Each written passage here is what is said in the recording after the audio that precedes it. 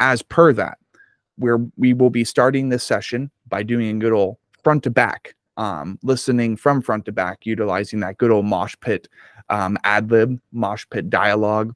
We will be checking out after so long, after so long, a new EP. it took forever. Or pray for Yeah, Pain.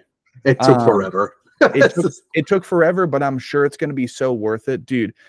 Forsaken and Cadaver alone, oh, they're so fucking good. They're so. They're so good. So of course, and therefore, you know, even if that is half of the EP already, like so fucking what, dude? We're still here to enjoy the music. We're here to enjoy some brand new material from a very underrated band. So, needless to say, let's go ahead and get into that process. I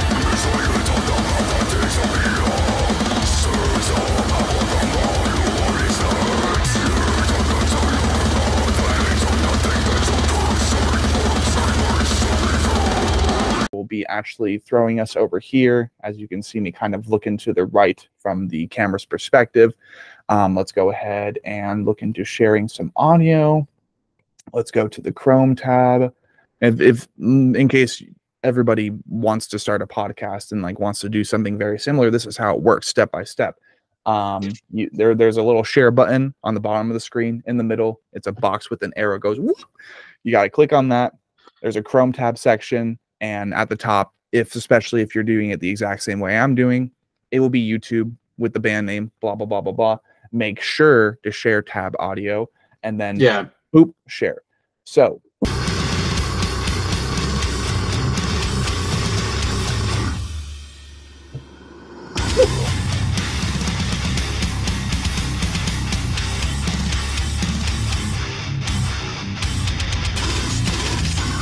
Oh yeah.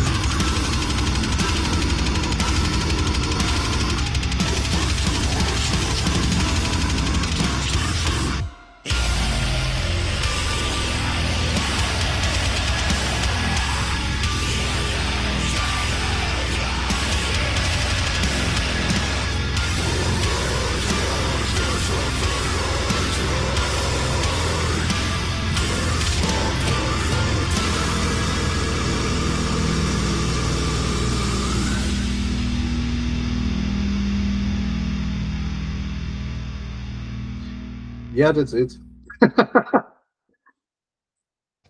God damn. That was good. Oh, oh, uh, oh my God. that was. Yeah, you seem you seemed energized. yes, I am. Oh, that was so nice to listen to. God damn. So, as per the front to back formula, I will be doing a brief review and then we can go ahead and jump into our Mm-hmm. Um, lyrical rating, I would say don't have don't really have one just yet because we don't really know what's lyrically going on as we usually do. So until we go under the skin, um, we kind of have to leave that neutral. So we'll go ahead and jump right over to the vocal rating. Andy, um, and is it Andy or Andrew? I forgot. Uh just just say Andy. It's fine. Okay. Like in German, it would be Andreas, but I don't want to do that to you, so just say Andy. Andreas. Andreas. Andreas. Okay, that's Yeah, cool. but we all just call him Andy. Nobody Right. calls him Andreas. Fair.